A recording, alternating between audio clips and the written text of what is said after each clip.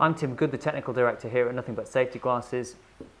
Here we have the Squale uh, over specs. Um, the, I mean, being a French company by, made by Bollé, the pronunciation is Squale, but then in the UK, people are pronouncing this Squale. So there are a couple of names going around for this pair of safety glasses.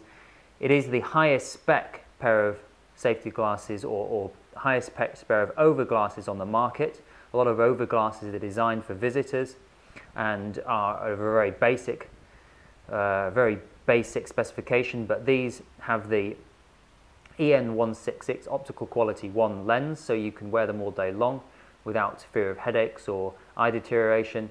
They also have F-rated lenses for protection against impacts up to 45 meters a second and also T-rated so that the integrity of the glasses are held from temperatures of minus 5 to 55 degrees Celsius.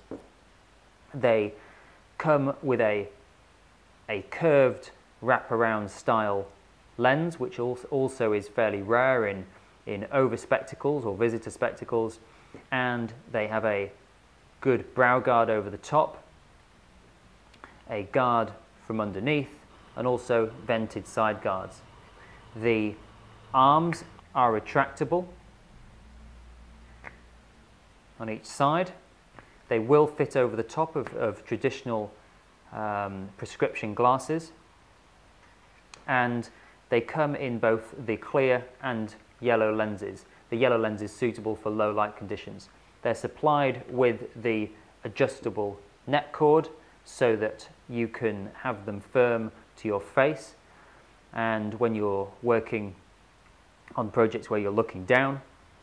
Another common question is will these glasses fit into the belt case? Um, the answer is yes they will. They may look too big for the, for the case that's usually designed for the um, smaller safety glasses, but yes, they will fit into the rigid belt case as shown.